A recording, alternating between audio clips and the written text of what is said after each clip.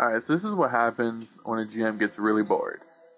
They go to Aven and just spawn a bunch of mobs, and it's like just lag city. Literally, it's freaking insane. But what I mainly wanted to show you guys was the awesome mounts he has. They're freaking like I would make love to these mounts. Like check out this one. It's a green alpaca. I mean, what more could you want? Look at it. It's so cute. It's called a lime fluff alpaca. It's the 35% one. I'm kind of dumb and I forgot to record the 50% one, but the 50% one's called gleaming alpaca. And it looks like when you enchant a weapon, just like, you know, sparkles coming out of it. It's pretty awesome. And this mount, it's just gorgeous. I don't know when they're going to add it or like how to obtain it, but they need to add it. I want it. It's probably like going to be some awesome you're the top PvPer on the server, so only you get it. You know, because that's usually how some games do it, aka World of Warcraft. But you get my point.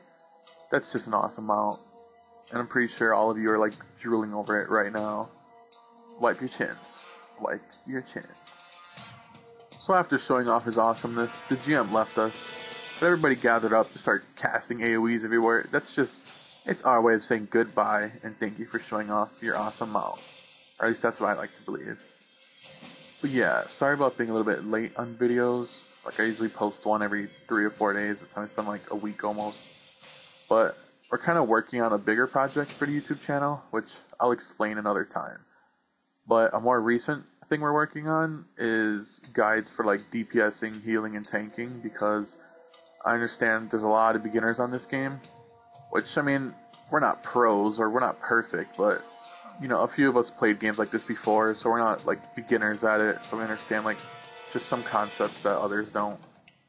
So, that is all. I love you all. Enjoy your Eden.